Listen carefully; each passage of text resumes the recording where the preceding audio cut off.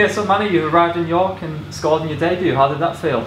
Yeah, it feels great. Obviously, first game of the season as a group for the for the crowd as well. So it's a great feeling to have your first goal of the season as early as it has come here as a forward. Yeah, and it was a great finish with your head. Did you score many with your head? Yeah, to be fair, recently I've been scoring quite a few with my head. So it's just keeping the form I've been having and then keep going as well. Yeah, and I know you've only been here a couple of days, but how are you settling in with the lads? Yeah, the lads have been amazing so far. Um, since I've been here, everyone has been brilliant. Yeah, I've been here, I think, uh, two, three days. Everyone has been brilliant. Um, obviously, playing for the fans, it's also like amazing for my for my for my feelings, and everything was great. Yeah.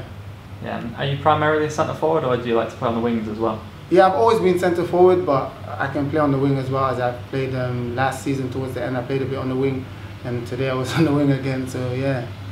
Yeah, and you know there's a lot of competition up top, so I guess that gives you motivation to keep on scoring and putting in performances like that. Yeah, definitely, definitely, because we do it for the team and for the club. So my performances, if I score, if I assist, if others score, it's all for, for, for the team. So yeah, those uh, uh, performances are very important. I hope everyone can put the same work ethic as we put in today, and I, I'm pretty sure the, the rest will come. Yeah, and you scored your first today. Do you set any targets in terms of goals for the season? Yes, I have set a few targets, but I keep them to myself. yeah, it's always uh, something you keep to yourself, and hopefully if you hit them, you'll be proud as, uh, as, as you can be, yeah.